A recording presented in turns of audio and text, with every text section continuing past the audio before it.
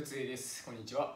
えっ、ー、と今日はですね新しい豆を買ってきました。あの谷中コーヒーさんというところでえっ、ー、とモカマタリのこれナンバーナインなのかな？イエメンさんですね。でえーと、これまあこれパッケージにロースト6ってお店でもロースト6って書いてたんですけど分かんなかったんで見たらあのダークローストって書いてたんですね。でまああのまあ色色というかまあサンプル見たらあのちょっと茶色というかな。浅入りでもそこまで浅入りでもなく深くもない、まあ、中入りぐらいのところですね。茶色ぐらいだったと思うんですけど、うん、そういう豆を買ってきました。でまああの細かいのはいろいろ書いてますけど、まあ、今日はこの豆を使ってあの、まあ、ペーパードリップで、うん。まあ、おそらくあの酸味とかすごい あのフルーティーな感じになると思うんであの粗挽きにしてあのまあちょっと多めの豆にしてさささっと入れてみるっていうのをやってみたいと思います。でまあ焙煎日がここのお店もあの生豆を展示しててであのこれお願いしますって言ってから焙煎してくれるんですよ、まあ、そこから15分ぐらいであのやってくれたんですけどまあ昨日が焙煎日なんでで、まあ、1日しか経ってないんで結構、まあ、ガスは出ると思うんですけどちょっとそんなに焙煎したてで入れたことなかったんでこうすごいモコモコなるんじゃないかなと予想してます。まあじゃあやってみます。まずは、はあ、めちゃくちゃいいよ、うん、豆こんな感じですね。これ見えます、まあ、茶色み強いですよね。でちょっとこの 12g もりもりぐらいの、まあ、いつも通りスマの分も入れますんで。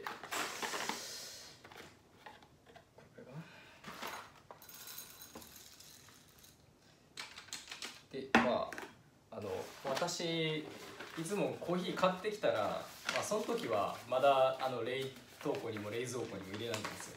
でまあ一回まあ開けてまあいいかなという感じでその後冷凍庫に保存するようにします、まあ、今日はだからこのまま一回置いていきますね。えー、っとあでえー、っとミルはあのすでに、えー、粗めに設定してあります。うん多分34ミリぐらいになるのかな。ぐらいに設定します。でミルの、えーと、調整の仕方についてはあの別の別の動画撮ってますのであのこちらをご覧ください。じゃあ豆ひいていきます。やっぱ硬いですね、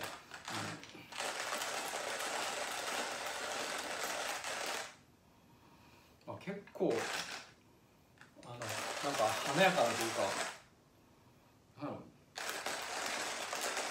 ょっと豆の香ばしい匂いというよりはちょっと植物のようなあの独特の香りしますね。こんな香りだったっけな。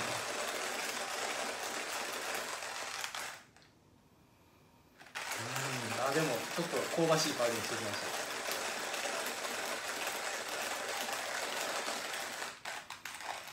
ああいい香り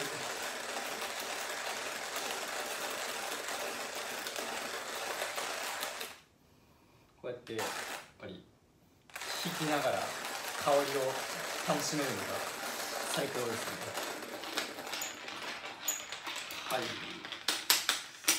引き終わりました。えー、っとそれじゃあ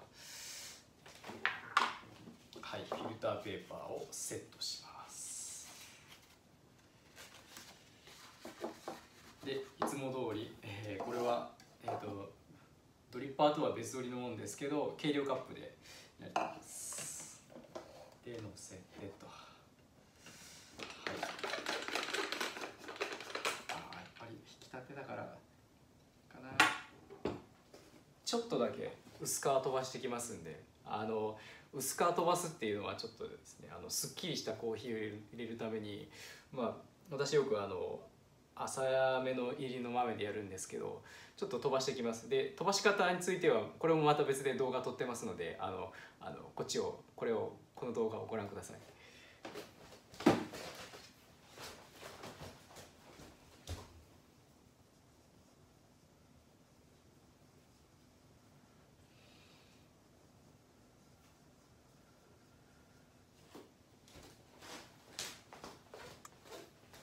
えー、こんな感じですね。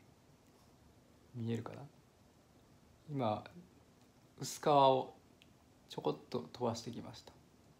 じゃあこれで入れます。意外と、うん、まあまあまあまあ粗めは粗め。であまりこの ミルの壁面に飛びつ、えー、こびりついてるものをもう入れないようにして微粉を入れると、えー、まずくなると、えー、効いてますので。で平らにセットしてじゃあ入れていきます。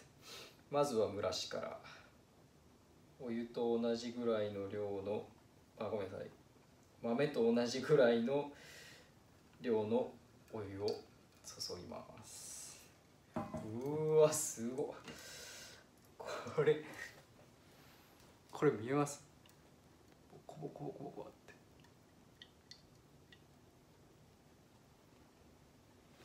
結構濃いそうはあめちゃくちゃいい香りはいじゃあ多分ここの系の豆ってあのあんまりゆっくり入れるとなんていうか渋くなるというか酸っぱさがちょっと際立つというかなるんですよね。で今までそれであの何回も失敗してきたんでちょっとささっと入れるようにしてみます。これぐらいがいいかな。はい入れます。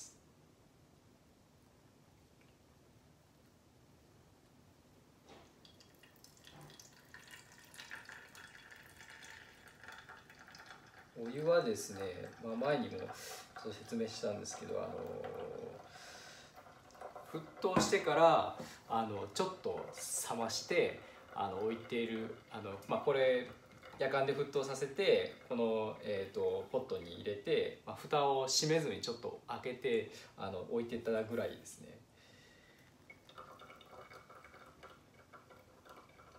だいたい90度よりちょっとしたぐらいかな。がいいんじゃないかと思います。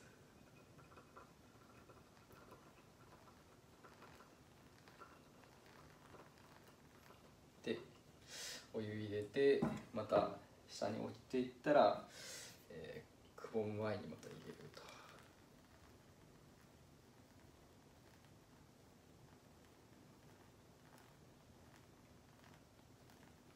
で2人分なんで合わせて300ミリもうそろそろ入ったかな。うん。これぐらいですね。でこれで外します。結構ささっと入れたでしょ。じゃあこれでえー、っと注いでいきます。あしまった。ちょっとカップ用意したんですけどあのお湯を捨てていますね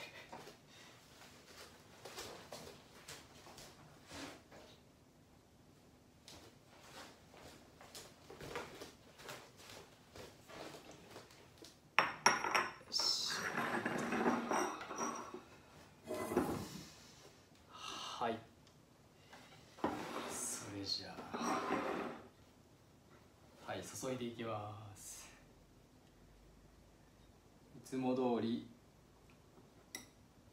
濃さに差が出ないように交互に入れていきます。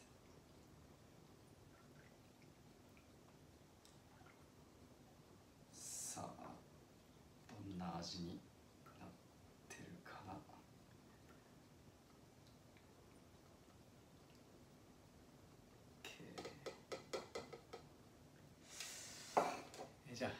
一つは妻の分なんでちょっと置いておきます。えー、っと楽しみですね。じゃあ飲んでみます。うん。ああいい香り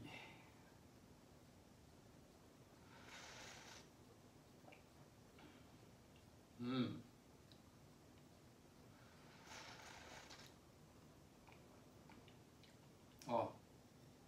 うんあ飲みやすいですね。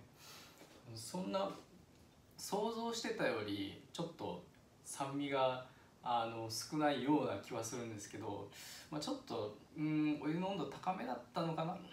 もう少ししたら大体あのちょっと入れてからあの冷めてくるとというかちょっと温度が下がってくると酸味を感じやすくなるんですよ。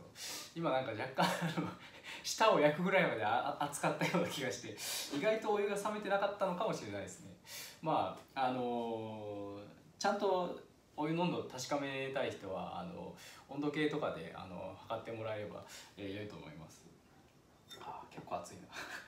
あの一番最初の頃でも言ってたんですけど私はあの猫舌だってあの一気に飲むと完全に舌焼いたりあの唇焼いたりしますんでちょっといつも恐る恐る飲んでます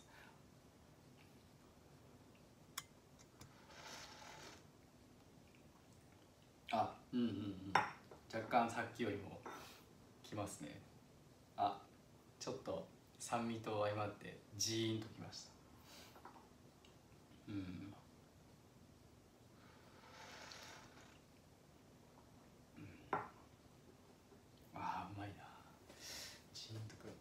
やっぱりこういうあの軽めというかあの華やかな味のあの、まあ、中入りとか浅めの入りの豆ってあのまあチョコレートとか、まあ、ケーキとかでもまあ悪くはないんですけどもうちょっとなんかこうフルーツとかあのなんでしょう、まあ、あるいはうちだったらヨーグルトとかと一緒にあの食べ合わせたりすると美味しいですね、えー、今回ははい以上です。あのこの谷中コーヒーのモカマタリナンバーナインイエメン産をの、えー、中入りのものを、えー、粗挽きにしてペーパードリッパーで入れてみましたはい あのまたあのこの後の動画でえっ、ー、とまあちょっと弾き方変えてみたりあのフレンチプレスで入れてみたり、えー、しようと思ってますんでまたあのそちらもご期待くださいえー、ご視聴ありがとうございました。